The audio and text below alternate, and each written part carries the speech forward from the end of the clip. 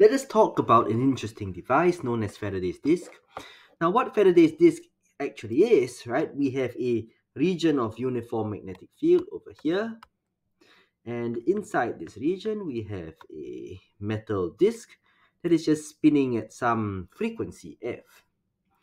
Now, um, this is a very interesting one. So how we should think of Faraday's disk, I want you to think of this disk as being made up of a series of infinitely thin metal rods like this.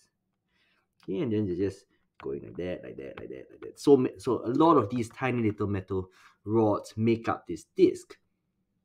Now, when you think of one rod, in one period, this rod is going to move around the entire area of this circle and cut this amount of area of magnetic field. And so, when you think about that, you can think of the average EMF induced over here, okay, as the uh, delta phi delta t, which is simply b dA dt. Right, again, n is 1, cosine theta is 1, okay, because you're perpendicular to the field. It's only one turn, if you like.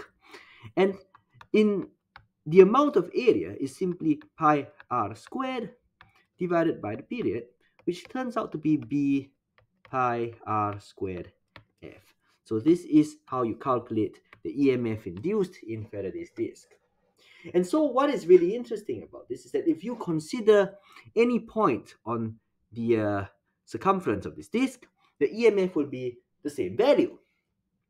But if I look at somewhere else, let's say here, and all the other points that are equidistant from uh, the radius, okay, so this blue ring, the EMF will be some other value, but smaller than the EMF on the green line that I drew, right? Because the blue circle will have a smaller radius.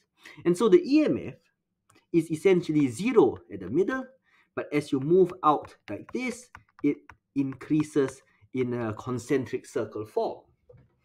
Okay, and so that's an interesting feature of Faraday's disk. Now let us consider how the current would flow.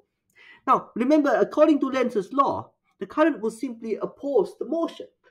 Now the disk is trying to rotate in this case in a clockwise manner. And so if you consider this line over here, the current has to induce a force that goes this way. Or if you consider the line here, the current has to induce a force that goes this way. Basically, you're always trying to oppose the torque.